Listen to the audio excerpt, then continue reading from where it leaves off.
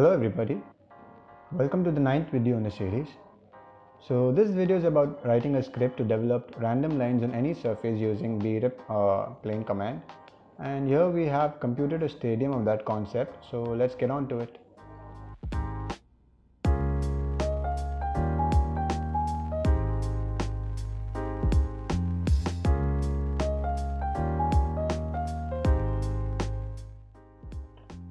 The first step is about modeling an elliptical form in Rhino, which I have done it already, and I have used three curves for it, one sectional curve and two base curves, and I've swept it in Rhino. The second step is to set that surface and then construct a sphere and populate points over it using populate 3D component. Now we have to construct a point on the center and then construct vectors between these points which are the populate points and then connected to the center point which is a construct component so that we can get a set of random planes when we give plane normals to those vectors.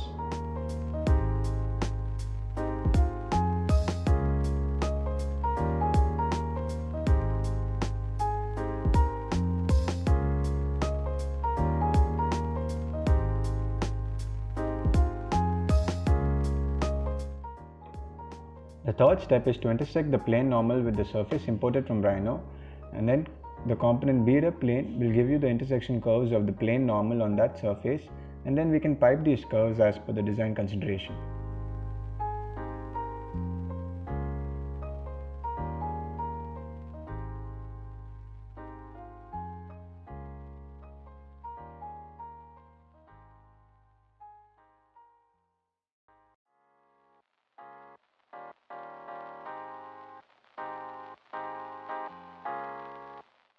Fourth step is to scale the shell surface so as to provide louvers by using curve on surface component. So this can be done by using MD sliders so that we can give inputs to those UV parameters of the surface and remember to reparameterize the surface as it sets the domain values from 0 to 1 which makes it easier for us to locate these curves.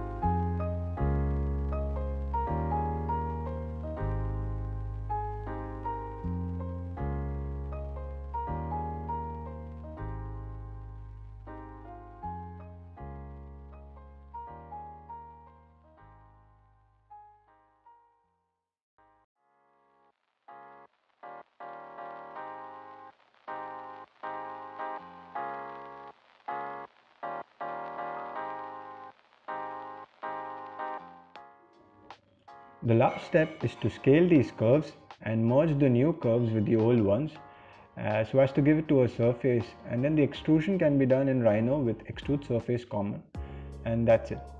So the design is conceptually done. So this is how the output turns out to be.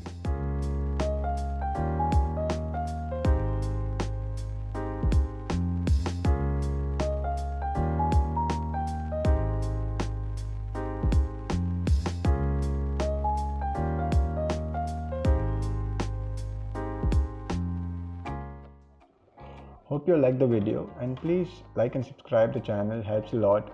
And there's a lot of different concepts that I will be uploading so stay tuned for it. You guys can share your feedback in the comment sections so I can make the videos more convenient for you guys. Thank you. Please like and subscribe. Bye